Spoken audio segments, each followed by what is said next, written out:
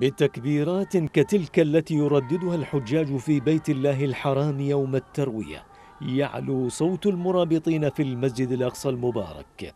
تعبيرا عن رفضهم اقتحام مئات المستوطنين الصهاينة. باحات المسجد المبارك بحمايه من الشرطة. فقد دعا رئيس الكيان المحتل نفتالي بنت إلى مواصلة الاقتحامات بشكل منظم على الرغم من الدعوات الدولية والأممية. إلى وقف الاستفزازات وآخرها بيان للاتحاد الأوروبي الذي حذر من تفجر الأوضاع في فلسطين. مسيرات دعت إليها جماعات صهيونية متطرفة لاقتحام المسجد الأقصى تحت مسمى إحياء ذكرى خراب الهيكل وأخرى حول أسوار البلدة القديمة بالقدس.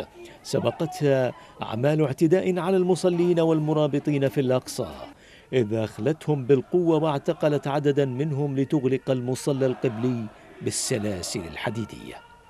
محاولات الاحتلال ربط مناسباته الدينية بالأقصى المبارك هو أمر بالغ الخطورة. يأتي ضمن محاولات المساس بعقيدة المسلمين والاعتداء على حرمة المسجد الأقصى المبارك وفقا لمجلس الأوقاف الإسلامية في القدس الذي أكد أن الدعوات إلى تكثيف الاقتحامات هي محاولات لتغيير الواقع التاريخي للمسجد الأقصى. تزايد وتيرة الانتهاكات الصهيونية بعد قرار المحكمة الجنائية الدولية التحقيق في جرائم حرب ارتكبها الاحتلال في فلسطين.